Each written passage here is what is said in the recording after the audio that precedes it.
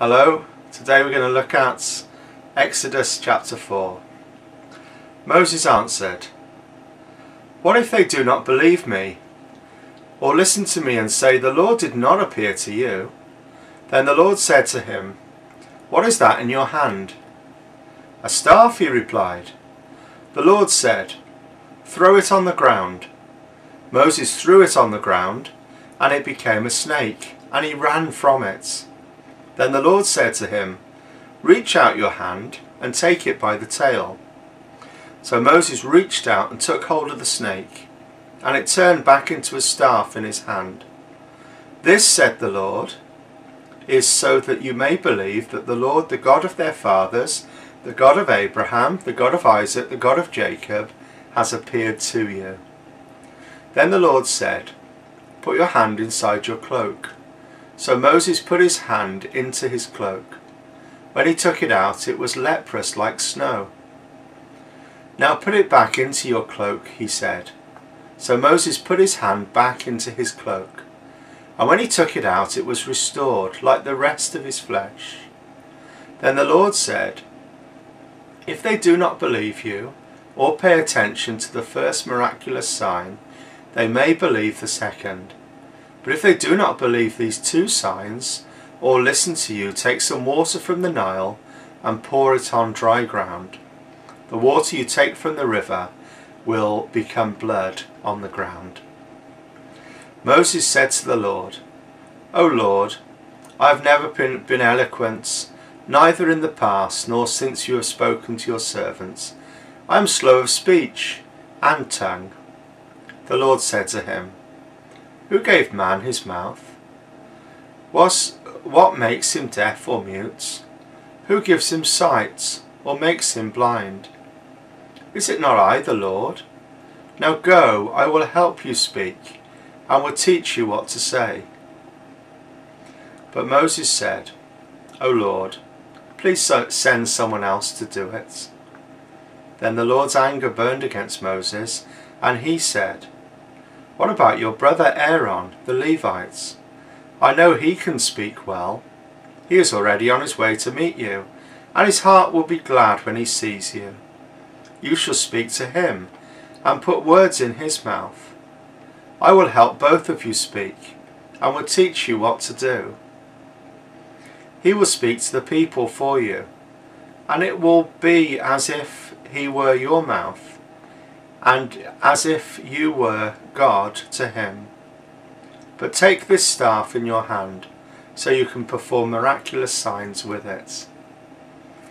Then Moses went back to Jethro, his father-in-law, and said to him, Let me go back to my people in Egypt, and see if any of them are still alive. Jethro said, Go as you wish. Now the Lord said to Moses in Midian, Go back to Egypt for all the men who wanted to kill you are dead. So Moses took his wife and sons, put them on a donkey, and started back to Egypt. And he took the staff of God in his hand. The Lord said to Moses, When you return to Egypt, see that you perform before Pharaoh all the wonders I have given you the power to do. But I will harden his heart so that he will not let the people go. Then say to Pharaoh, This is what the Lord says Israel is my firstborn son, and I told you, Let my son go, so he may worship me. But you refused to let him go, so I will kill your firstborn son. At a lodging place on the way, the Lord met Joseph, met Moses, and was about to kill him. But Zipporah took a flint knife, cut off her son's foreskin, and touched Moses' feet with it. Surely you are a bridegroom of blood to me, she said. So the Lord let him alone. At that time she said, Bridegroom of blood, referring to circumcision. The Lord said to Aaron, Go into the desert to meet Moses. So he met Moses at the mountain of God and kissed him. Then Moses told Aaron everything the Lord had sent him to say, and also about all the miraculous signs he had commanded him to perform. Moses and Aaron brought together all the elders of Israel, and Aaron told them everything the Lord had said to Moses. He also performed the signs before the people, and they believed. And when they heard that the Lord was concerned about them and had seen their misery, they bowed down and worshipped him.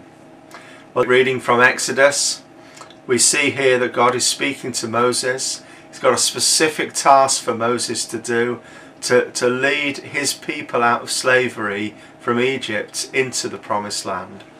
And Moses doubts, he questions God, and he puts lots of obstacles in the way of God and says, Well, I can't do this. Uh, I'm not the right man, I'm not a good speaker, um, I'm slow of speech. Surely you can find someone else. And God proves himself as a powerful, miracle working God. Throws his staff on the ground, uh, turns into a snake, picks it up then uh, by the tail, and um, I'm told that that's not a good thing to do with a snake. You normally grab it by the head, although I'm not expert in either thing. And when he grabbed the tail, uh, the, star- the, the snake turned back into the staff. He puts his hand inside his cloak and it turns uh, leprous, takes his hand out, and uh, it's completely healed and restored. But God uh, calls Moses to go back to the people. And eventually he's obedient and he goes. And he starts to share with people what God has laid on his heart. And people begin to listen. And we see this as we go uh, through the passage. And right at the end, in verse 29 and 30 and 31, Moses and Aaron brought together the elders of the Israelites. There must have been many, many elders. And Aaron told them everything the Lord had said to Moses, and they performed signs and wonders amongst the people. Seems a little bit like the early church in Acts. Uh, we see we see God at work then, as He was then, and all the way through the Bible and through to today. And when they performed the signs and wonders and they shared what God had said, the elders believed.